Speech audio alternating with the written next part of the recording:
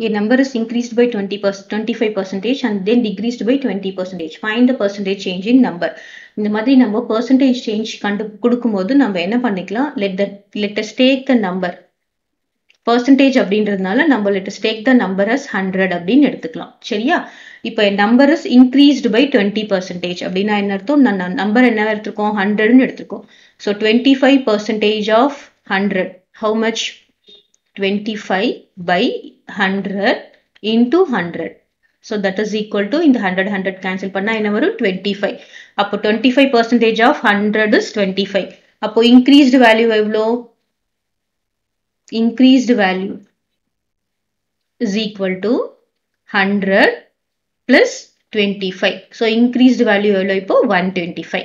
இப்போ என்ன சொல்லியிருக்காங்க? Numbers increased by twenty five percentage அதுக்கு உண்டானதை நம்ம கண்டுபிடிச்சிட்டோம்.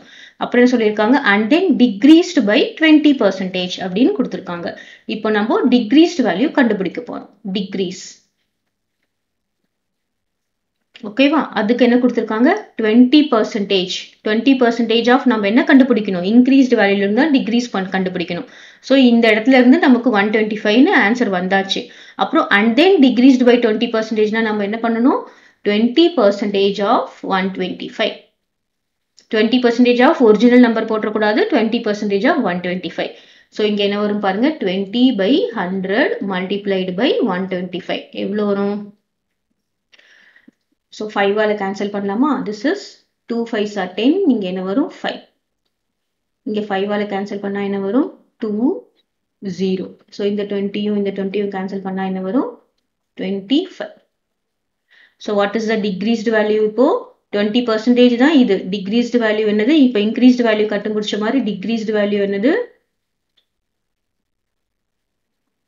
ஹண்ட்ரட் அண்ட் டுவெண்ட்டி ஃபைவ்ல இருந்து டுவெண்ட்டி ஃபைவ் நம்ம சப்ராக்ட் பண்ணிட்டா டிக்ரீஸ்டு வேல்யூவில் வந்துடும் hundred see here that is equal to what value original value so நம்ம என்ன பண்ணணும்? There is no change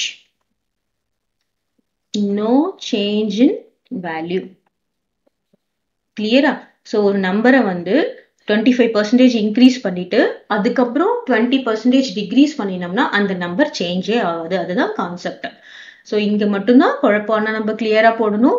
இந்த டுவெண்ட்டி பர்சன்டேஜ் டிக்ரீஸ்ன்ற வேல்யூவை முதல்ல கண்டுபிடிச்சிக்கணும் அப்புறமா ஒரிஜினல் வேல்யூலேருந்து தட் இஸ் ஒன் டுவெண்ட்டி ஃபைவ்லேருந்து டுவெண்ட்டி ஃபைவ் மைனஸ் பண்ணால் என்ன வரும்? ஹண்ட்ரட் அப்போது நம்பர்லேருந்து டுவெண்ட்டி பர்சன்டேஜ் ஏற்றி நம்மளுடைய இது மாதிரி தான் ஃபெஸ்டிவல்ஸ் டைமில் வந்து என்னது? துணியெல்லாம் இது பண்ணுற மாதிரி தான் அவங்க என்ன பண்ணுவாங்க?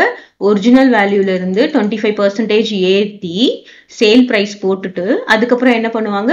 டுவெண்ட்டி பர்சன்டேஜ் ரிடக்ஷன் அப்படின்னு சொல்லுவாங்க. பார்த்தோம்னா நமக்கு சேம் வேல்யூ தான். அவங்களுக்கு எந்த லாஸும் இருக்காது. ஸோ நம்ம இனிஷியல் வேல்யூ ஹண்ட்ரட் தான் ஃபைனலும் ஹண்ட்ரட் தான். Is there is no change in values your answer